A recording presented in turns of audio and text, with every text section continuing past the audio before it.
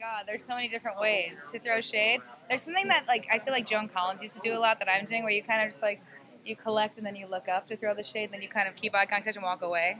I like that. How to throw shade. Never lose your temper. Never lose your cool. Always have the last word. Always give a look before you walk away, or like a cheers. Clink your glass. How are those fight scenes? They're great. I'm so sore. Why? Because they're all, uh, they're fight scenes. Nathalie and I are very committed.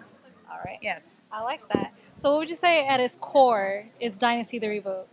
Dynasty the reboot is a. Uh, I'd say it's if you love the original, you'll love it. If you've never seen the original, you'll love it for a whole new reason. For me, I grew up with Gossip Girl and I grew up with the OC and things like that, so I was a big fan of Josh and Stephanie. And watching this has that same feeling, but we put a whole new spin on it. It's set in Atlanta. Our cast is super diverse. The clothes are great.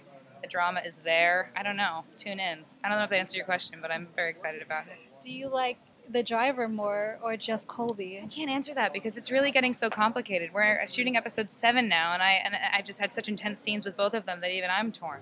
I don't know what's to come. I'm asking the writers like, where should my heart be? And they're like, we can't tell you. That's your journey. So everyone will draw their own conclusions. How has this character challenged you in ways that other characters haven't? I've honestly had to show more range with this character than I think any of my other characters. She's all over the place. I thought I wouldn't have an episode where she breaks down or cries until maybe season two. It happened in episode two. So she, I've, exp- she's a very emotional person, and she's very on the cuff with her emotions. And so that's been, yeah, it's been challenging in a, in a good way. She's wild. Is this kind of show where you do go back and look at the original, or did I you did. choose not to? No, no, no. I looked at the original. I, I wanted to be knowledgeable. I didn't want to just be someone rolling into this being like, I don't know what's going on, but let me take a stab at it. I know how important it is to people.